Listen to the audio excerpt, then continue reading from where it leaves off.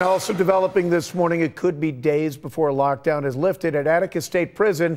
That, according to state officials. Daybreak's Heather Lee has more on the string of violent events that led to that lockdown at Attica. Good morning, Heather. Hi there, Pete and Melissa. Good morning. The violence started between inmates back on Tuesday, then escalated. Staff members were then assaulted, including a correction officer who was stabbed multiple times and another who suffered serious injuries to his face.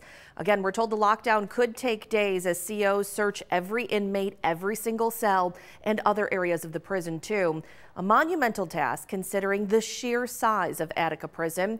We talked with Kenny Gold. He is the Western Region Vice President of the union representing correction officers at New York State prisons. He said an already dangerous job has become even more dangerous in recent years, especially after the state legislature passed something called the HALT Act.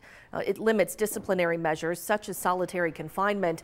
Gold said right now there is no fear of consequences for inmates behind bars behind walls, no, everybody thinks nothing happens, but there's really bad people back there that have no fear of consequence. And it's, it's a horrible uh, chain reaction of events right now. The men and women that work in these prisons really do. They feel like someone's going to get killed, and if they do, that it's not going to matter to the people that enacted HALT.